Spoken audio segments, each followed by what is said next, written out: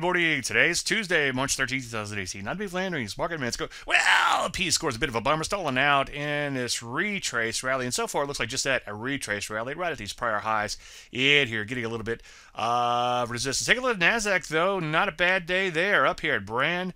New high, so far so good there. And Rusty, not too far behind either. My only problem, as I've been saying quite a bit, is that these V-shaped recoveries at high levels are hard to sustain. You know, routine, take things one day at a time. Some areas, such as energies, metals and mining, and brick and mortar areas, quite literally, such as materials and construction, also insurance, lagging a little bit, kind of retracing at best, like the S&P itself. But a lot of other areas, especially technology-related areas, as you would expect with NASDAQ add new highs, also banging out new highs. Hardware, software, take a look at the semis. bang. Sam winning.